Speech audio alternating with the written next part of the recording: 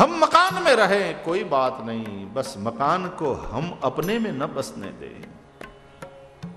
हम संसार में रहें, कोई बात नहीं। संसार को हम अपने में प्रवेश न करने दें और संसार तब प्रवेश कर लेता है जब संसार के प्रति आसक्ति हो जाती है। संपत्ति, मकान इत्यादि में आसक्ति हो जाती है, तब वो चीज़ें हमारे में बसने लग जाती और जिस दिन उन सब चीज़ों ने हमारे भीतर प्रवेश किया कि मन की शांति गई।